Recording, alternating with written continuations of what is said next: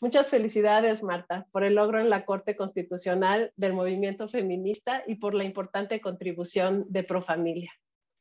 Cuéntanos, ¿cuál fue la clave para hacerlo realidad? ¿Qué acciones fueron desarrolladas por las organizaciones? ¿Cuáles podrían ser tres buenas prácticas y lecciones aprendidas? ¿Qué sigue? ¿Cuáles son los próximos pasos? Tienes cinco minutos, por favor. Ay, no, muy poquito, pero gracias, gracias Eugenia y obviamente la sonrisa por lo que celebramos hoy y por eso que comenta Eugenia, que sin duda alguna es un fallo histórico, un fallo histórico para Colombia, pero también para, para la región, que la Corte Constitucional colombiana el 21 de febrero decidiera despenalizar el aborto hasta la semana 24 de gestación y a partir de ahí eh, seguir aplicando las tres causales que existen desde el 2003, desde el 2006 yo, yo sentimos, analizando y mirando hacia atrás, que no hay una fórmula mágica exacta para avanzar en los derechos sexuales y reproductivos, ya que cada país tiene un contexto legal eh, y social totalmente diferente. Sin embargo, sí creo que uno de los primeros ingredientes fue el trabajo conjunto que hicimos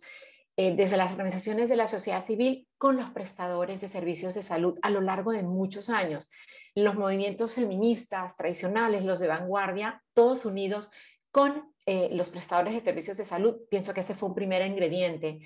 Estos actores, todos estos actores fueron claves para reunir información concluyente, información de fondo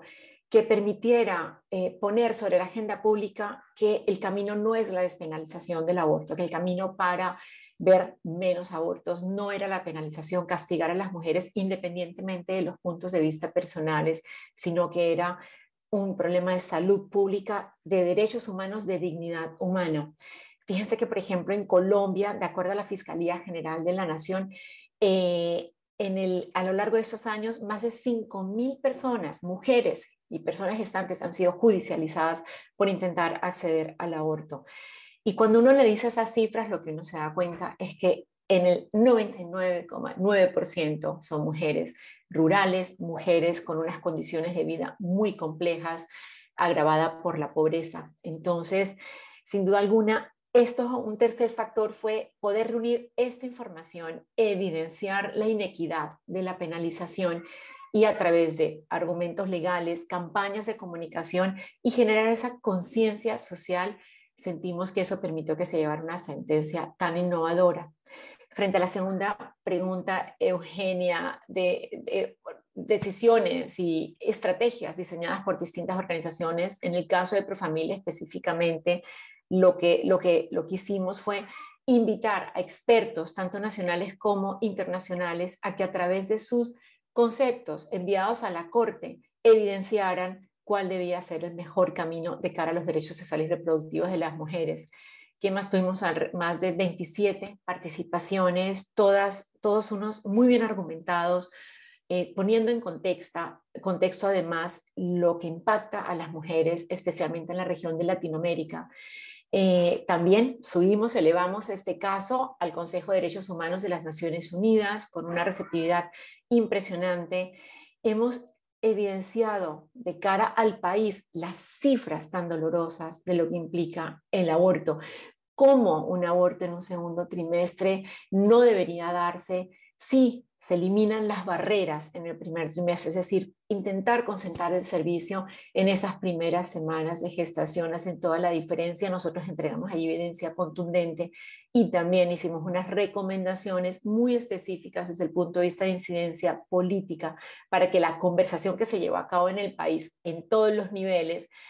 elevarla, elevarla e intentar sacarla, como así fue, de las creencias personales, un campo que ahí es totalmente imposible de tomar decisiones.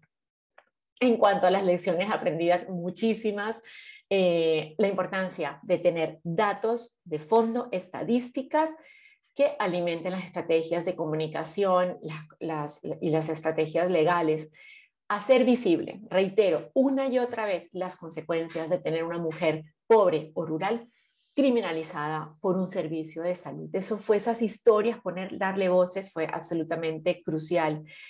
E incluir el acceso a aborto dentro de la cobertura del sistema de salud, dentro de los planes de beneficios que existen en nuestro país. Eso sin duda alguna elimina las barreras. Y por último, una conversación muy importante que se dio es entender que el aborto es el resultado de una serie de cosas que fallan a lo largo de la vida de una mujer y cómo la mirada tiene que ser una mirada muchísimo más integral que tome en cuenta factores como la educación, el acceso a unos buenos programas de métodos anticonceptivos y, por supuesto, acompañamiento a las mujeres y personas gestantes. Y por último, próximos pasos, pues muchísimo trabajo. Esto es el, esta es la puerta que abre una serie de desafíos que vienen hacia adelante. Sin duda alguna, eh, aterrizarlo en el mundo real, eh, que la Corte, la Corte le ha solicitado al Ministerio de Salud y al Congreso que desarrolle un programa integral que, permita, que nos permita a todos los prestadores de servicios de salud bajar esto a la realidad. Y, bueno, somos el tercer país en la región que avanza en la despenalización del aborto y sentimos que ahí hay una tarea también muy importante de cara a los demás países de la región, ser, em, entender lo que afecta, cómo afecta a las mujeres este servicio, eliminar esos, esas apreciaciones personales y ver cómo logramos avanzar como región para que todas las mujeres y personas gestantes puedan acceder finalmente a una interrupción voluntaria del embarazo que se preste en condiciones de seguridad, de oportunidad y que sobre todo elimine la clandestinidad de este tipo de servicios.